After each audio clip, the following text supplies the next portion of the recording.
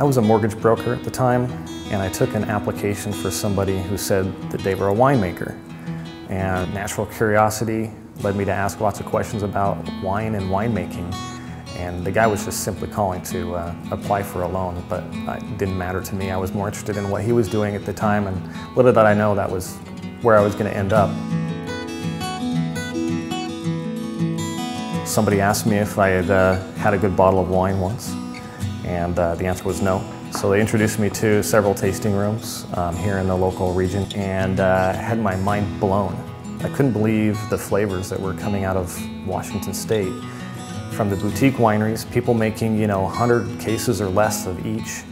Um, wow, I was just amazed. And that was where everything started kind of clicking.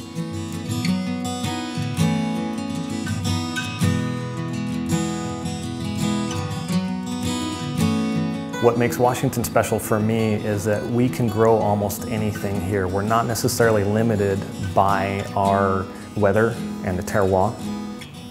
We can grow just about anything. We're pretty much a desert climate in eastern Washington with irrigation. We can get almost anything ripe, any varietal that you can imagine. And so I thought, well, wait a second, so you can buy grapes from growers on the other side of the state, bring it back over to western Washington, make the wine, barrel age the wine, ferment, etc., etc. And um, you don't need a chateau. You can have a warehouse and you can keep your day job. That's pretty neat. I'd never even thought about that. One of the varietals that I picked up uh, early on was Aligoté. Um, it's the other Burgundy and make it in a dry, real crisp acidity style, and man, it tastes amazing, and people love it. Um, additionally, on the red wine side, we've done everything from um, you know, Primitivo to Tempranillo to uh, Malbec, Cab Franc.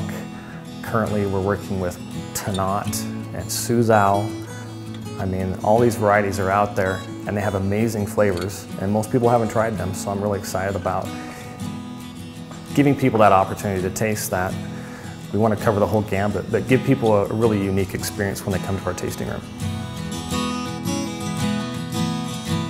Back in 2005, 2006, um, while I was considering starting a winery, um, somebody introduced me to a red wine called Carmenere. Um, I was lucky enough to taste it directly out of the barrel and it blew my mind. I didn't know exactly what I was experiencing or, or how to explain it, but the taste was amazing. And I thought, wow, this might be the next Cabernet Sauvignon or something of that nature. In fact, um, not only do we blend with it, but we do a single varietal and we also make a rosé with it. It's something actually we haven't quite released yet, but I'm so intrigued by it, but I, I think it'll be quickly something that will become a, a, fan favorite, and it isn't mine already, and that's a grape called Tannat. Um, Tannat is uh, a French grape originally. Uh, there's very, very little of it grown um, in the United States and even less so in Washington State. But it's a really big, bold red wine. Um, true to Washington form, though, I've been able to capture plenty of fruit flavors on that.